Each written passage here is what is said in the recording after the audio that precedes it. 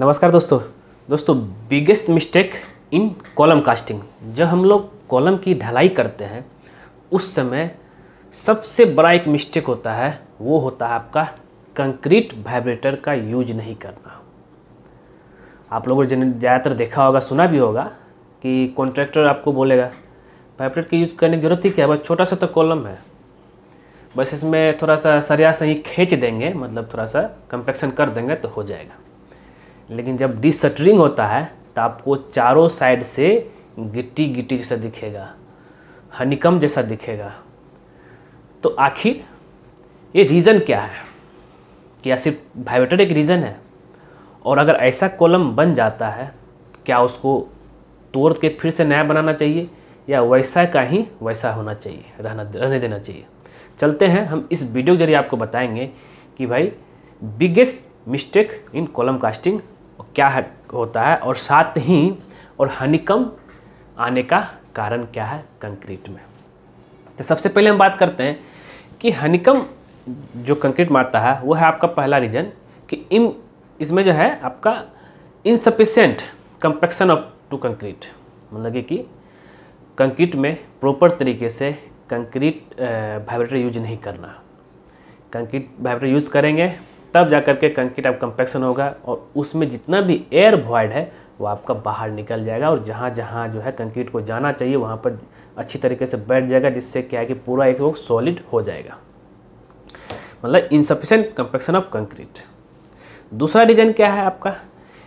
Improper workability in concrete जिस workability के साथ कंक्रीट बनना चाहिए, वो उस तरीके से नहीं है। इसके वजह से भी ऐसा होगा और दूसरा क्या है कि बहुत जगह ये देखा गया है कि less cover to reinforcement bar मतलब क्या हो गया कि सटरिंग बोर्ड और रेनफोर्समेंट बार के बीच में कवर जो गैप होना चाहिए, अगर कॉलम की बात करें 40 एम से 50 एम होना चाहिए, वो आपका उतना नहीं है।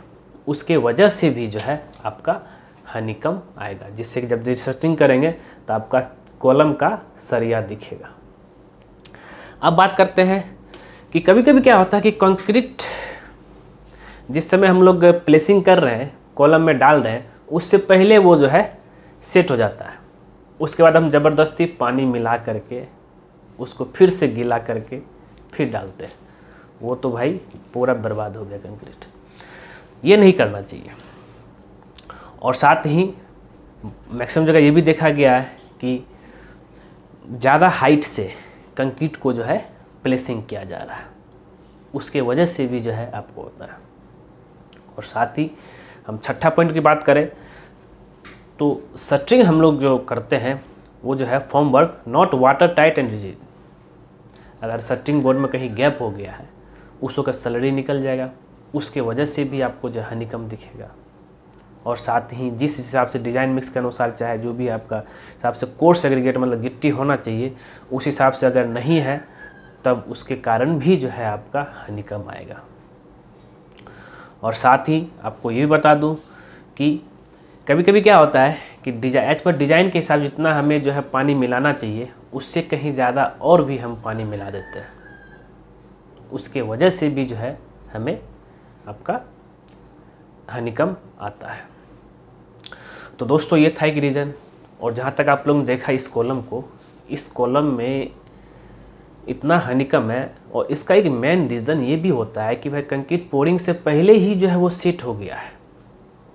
वो एक रीज़न है। तो इसलिए ध्यान रखिएगा।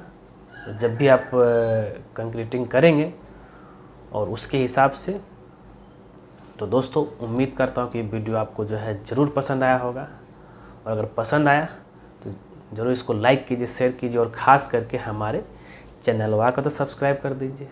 क्योंकि जैसे आप हमारे चैनल सब्सक्राइब करेंगे, उसके बगल में बेल आइकन बन जाएगा, उसको भी क्लिक कर दीजिएगा। उससे बस बेनिफिट यही होता है कि जब जब सिविल इंजीनियर दीपक कुमार कोई नया वीडियो आपके लिए लाएगा तो सबसे पहले आप नोटिफिकेशन में दिखेगा। ठीक है दोस्तों? धन्यवाद दोस्तों।